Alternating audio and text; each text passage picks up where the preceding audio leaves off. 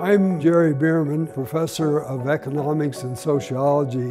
This book is on a really important topic, this question of social mobility. And my chapters on human capital, going to school, is an input into producing human capital, producing better cognitive skills, better social emotional skills. And our interest in this book is focusing on low and middle income countries. Very important in the low and middle income countries is nutrition.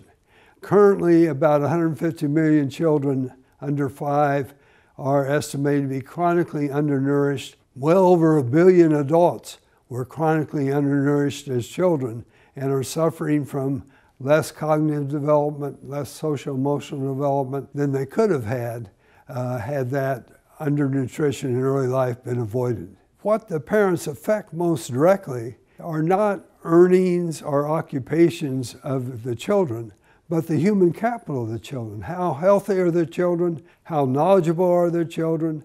How able are their children to adjust to changing uh, economies, changes in the world?